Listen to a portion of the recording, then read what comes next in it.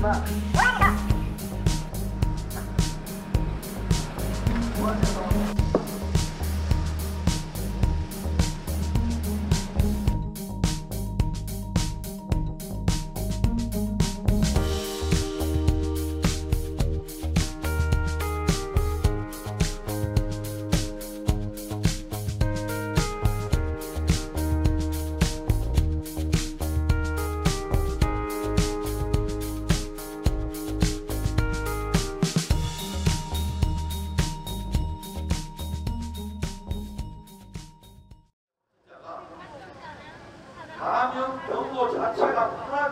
된다고 합니다. 31번째 확진자가 감염 경로조차 파악이 안 되고 또 이 환자가 아주 대구 시내를 지금 발칵 뒤집어 놨는데 결혼식 뷔페도 갔다고 하고요. 백화점도 갔다고 합니다. 더 웃기는 거는 병원도 갔답니다. 교회까지 갔답니다. 백화점, 교회, 병원 다 이제 폐쇄 좀 신고해야 될 텐데 이 보십시오. 이 보십시오. 암에서 떠도는 전염병도 감염 경로조차 파악이 안 되는데 저렇게 하루에 100배가 넘는 중국인들이 들락거리면 31번째가 아니라 310번째, 3100번째, 3만 1000번째가 나오더라 말입니다. 우리 국민 다 죽일 겁니까? 메르스 때, 뭐, 준전시 상태니, 치달이니, 발광이니 하더만?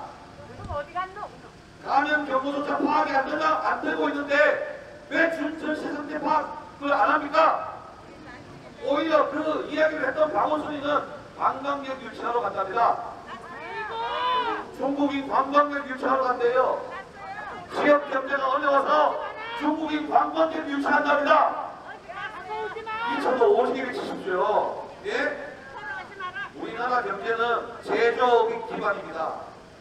우리나라 경제는 대기업과 중소기업이 유기적으로 돌아가서 수출 주도형 경제 기반입니다. 다 우리 사회가 떠나다. 그런데 제조업 다 죽여놓고 제조업 정부 개발도상국으로 다 내보내고 대기업 총수들 맨날 불러가 협박치면서 무슨 너무 경제를 발전시켜요.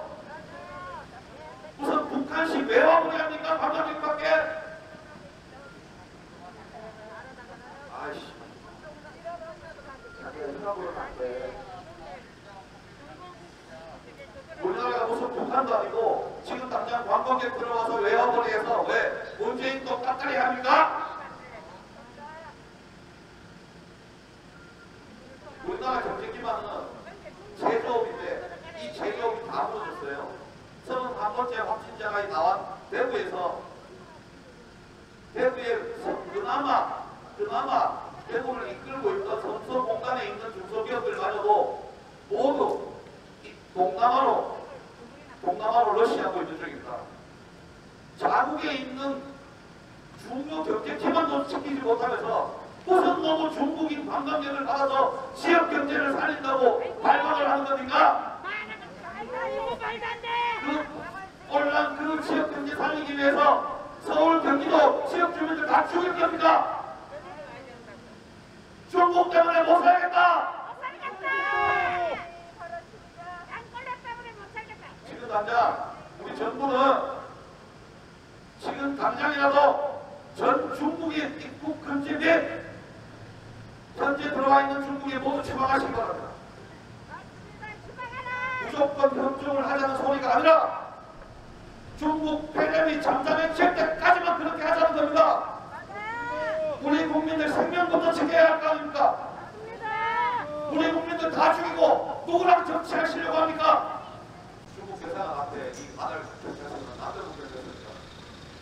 이거 남대문 경찰서가 정보 경찰서는 저희가 어, 그 집회를 하거나 집회 때 많이 오는 곳이죠.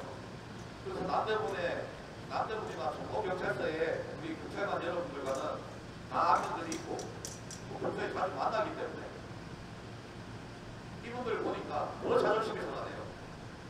지난주에 우리 여기 계신 분들 중에 다 보셨을 겁니다. 마마문에서 이 중국 관광객 어린 놈 시합니다. 우리 경찰관에게 하는 짓들 우리 국민도 우리 경찰관들에게 그렇지 않았는데 시내 나라 경찰한테는 찡소리도 못하는 거죠.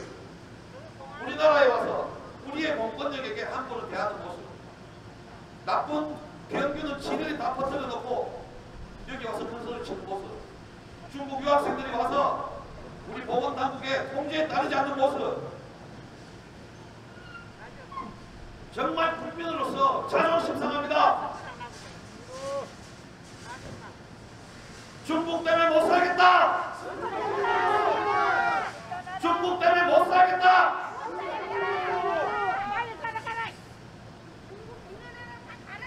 지금 남자 전 중국인 입국 금지 또 중국을 경외해서는 모든 외국인 입국 금지조차 강행하실 거예요. 그렇지 않으면 그렇지 않으면 우리 국민들이 이번 총선에서 가만두지 않을 겁니다. 기자에게 여기서 마치겠습니다. 여러분 주십시오.